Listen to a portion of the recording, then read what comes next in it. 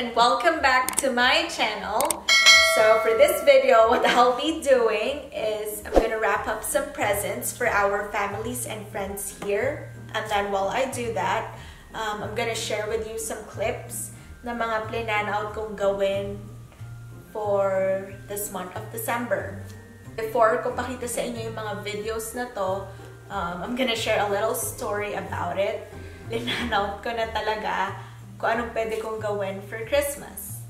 And then, inisip ko, why not I give a gift to a random family sa Philippines, which is my home country. And, yon So, inisip ko, sino yung pwedeng mag-help sa akin na gawin to. Good thing, naalala ko, um, one of my good friend nung college, her name is Jara. She's now a SK chairperson sa place nila, I asked her if she can help me find a random family na pwede kong matulungan and mabigyan ng anything um, for Christmas. And then good thing, nag-respond agad siya sa akin and then she told me that she's gonna help me with this one and then meron agad siyang nahanap. And then yung nila family, sila Nanay Rosemay. So ayan, pinakalala ko na sila Nanay Rosemay.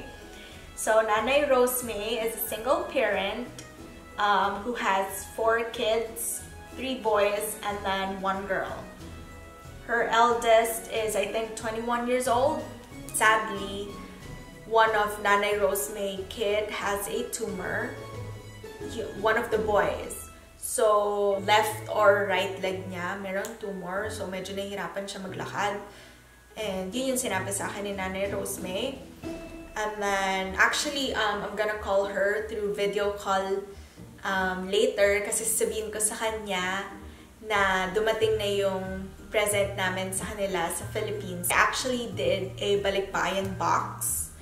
Um, so, kaya medyo maaga ko to na plan out kasi shipping balikbayan box in the Philippines takes two months. So, ang tagal. Good thing nandun na sa Philippines, pero wala pa sa house ng friend ko. Kasi siya yung magbibigay nung balikbayan box kila Nanay Rosemay. But, hopefully, this week, this Christmas week, um, ma-receive na nila Nanay Rosemay yun para ma-open na nila during Christmas yon Kasi, sobrang excited ako na makita nila yung mga gifts namin for them. Actually, later sa video, makikita nyo kung ano yung mga binigay namin for them. Sobrang bait din nila Nanay Rosemay kasi wala silang any request na I even ask her if she wants anything from here, kung ano may gusto ba yung mga bata and stuff. So, wala, wala naman siya sinabi. Like, food, vitamins, okay na daw yun and stuff. So, sobrang, sobrang bait. Kaya, binigyan ko siya ng little something. Makikita niyo later sa video. And same with the kids as well. Sobra akong natuwa sa ginawa ko na to kasi it's my first time doing it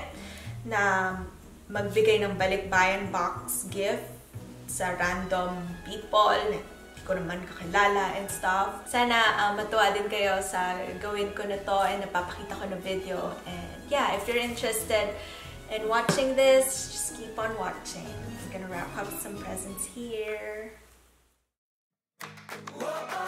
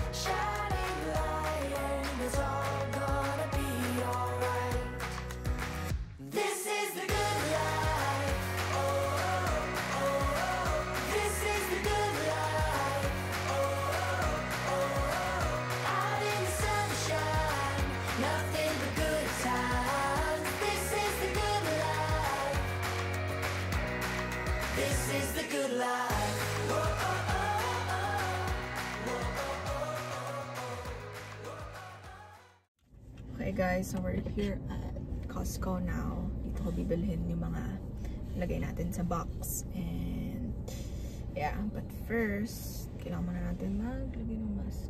So, ayan. Alam mo, ikiklip ko na lang itong bangs ko.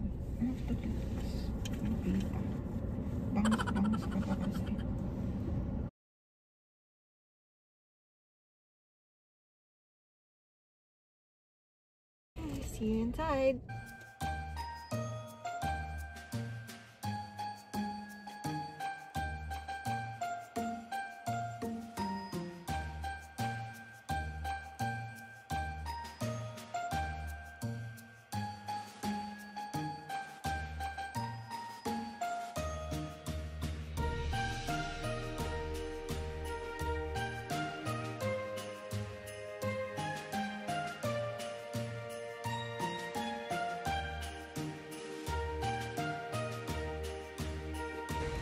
Hey guys, so we're here inside Costco now.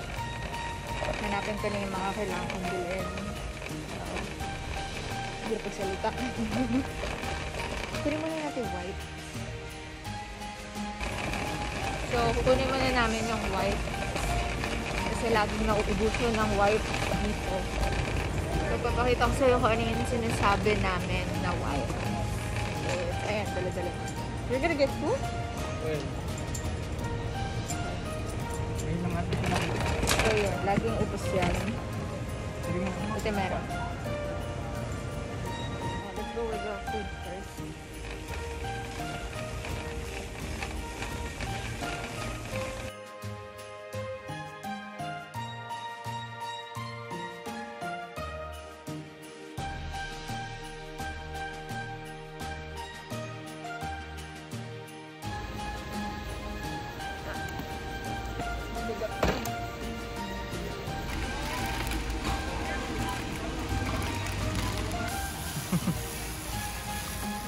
So, we're gonna get vitamins and medicine to them. Kasi kailangan din nila yun. So, ganap kami ng vitamins na fit sa kanilang lahat.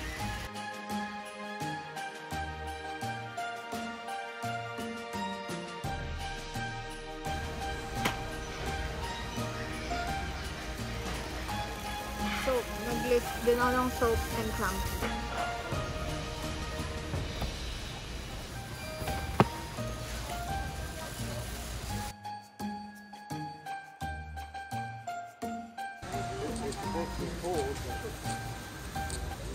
Hey guys! Sorry na cut off tayo from yesterday's video. Nalobat ako.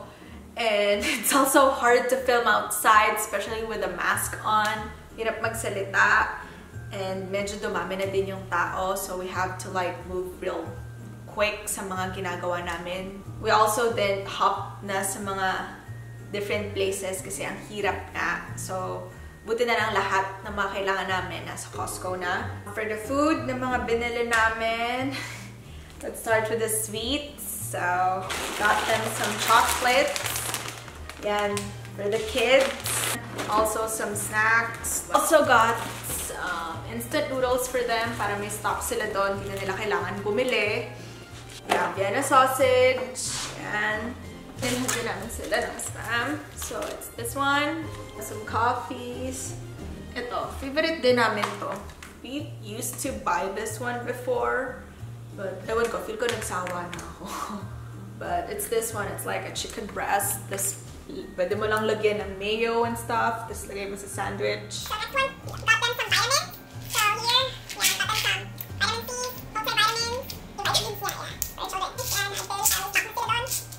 And the next one, nilagyan namin sila ng toothpaste, and shampoo, also, got them, um, body some clothes for the kids kasi hindi ko na binilhan ng other stuff kasi feeling ko ewan ko, hindi ko alam kung magugustuhan ba nila or what. But yeah, just to be safe, I got them some clothes na lang din. Next one is I have a surprise for Nanay Rosemary. Gusto ko siyang bigyan ng something to do. Also, parang like small business. And sana makahelp to sa kanya kasi I asked her if she knows how to bake. Tapos sabi niya sa akin, gusto niya mag-bake kaso lang wala siyang gamit. Tiningnan ko kung pwede talaga akong makadala ng oven, yung small oven toaster. So, good thing I found one. So, ito yung gift ko kay Nanay Rosemary. So, here. Yan, lapit ko onti. Ang bigat niya eh. Yan. So, Yan, finally, pwede na mag-bake si Nanay Rose May dito. So, I think, I don't know if you can see it, but you can do um, pizza, you can bake here, you can roast. Kahit ano, pwede mong gawin dito sa small oven toaster na to. So, syempre, hindi ka naman na madadala yung malaking oven. And yeah, pwede mo rin tong gawing business. Gusto ko kasi magkaroon siya ng business. Pwede siya mag-bake and tinda niya yung mga binibake niya na yun sa neighborhood nila. Kailangan ni Nanay Rosemary ng mga gamit. So, binilhan ko din siya nitong itong set na to. Meron siya mga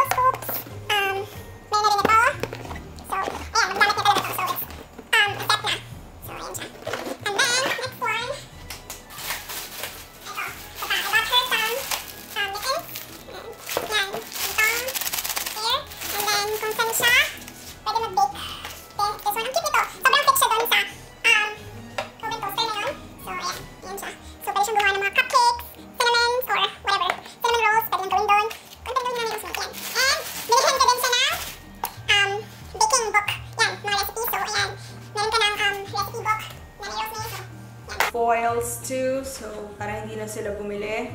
So, yeah, those are the stuff na nalagay ko dun sa box. And I might need my husband help for that kasi hindi ako magaling mag-pack and it's my first time doing a balikbayan box. No, it's not my first time. Usually we send balikbayan box to our families too, but in a different way because yung family ko, every time they go here, may naka-ready na nabalikbayan box, but they were the one who buys stuff for themselves. So, yung mga hindi nakasya sa luggages nila, nilalagay nila doon, tapos pinapaship na nila agad. So, yeah. Kakaiba yung ginagawa nila with the balikbayan box. Here is the box that I'm saying. This is the balikbayan box. Yeah. We get this one from one of the Asian stores here. Anyway, I'm gonna ask my husband to help me um, pack everything kasi hindi talaga ako magaling mag-pack with this stuff. So, yeah. Let's do it!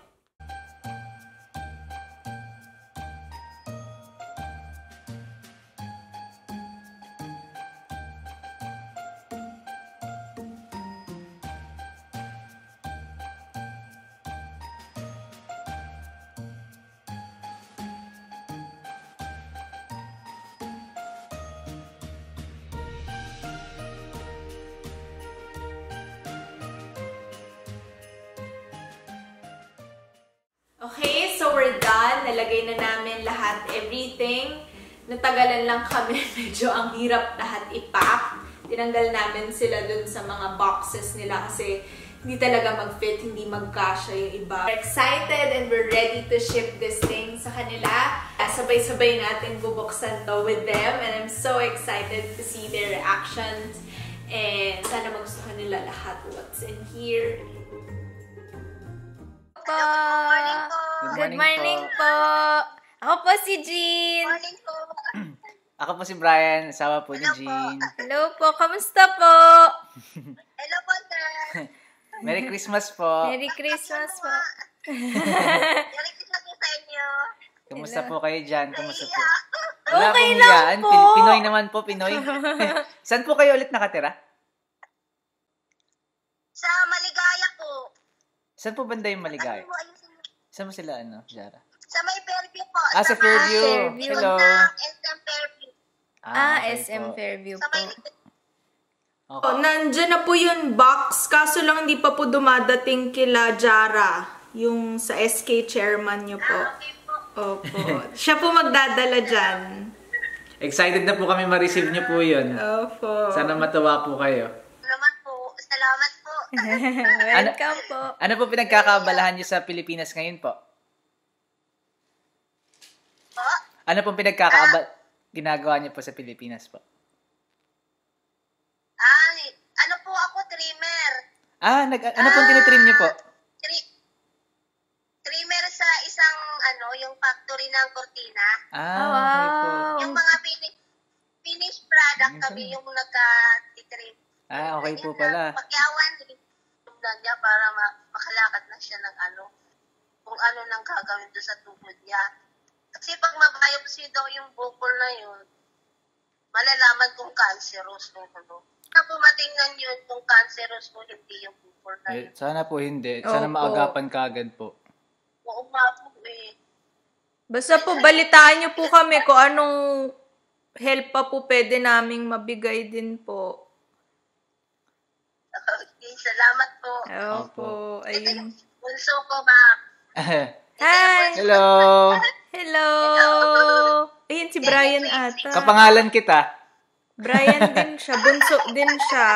Bunso din ako, para sa'yo bunso. Uso yung bunso sa mga Brian. Tsaka pinaka-pogi. Wow Rose, may balitaan niyo po kami. Tatawagan po namin kayo pag nandyan na po yung box. Okay, sige po.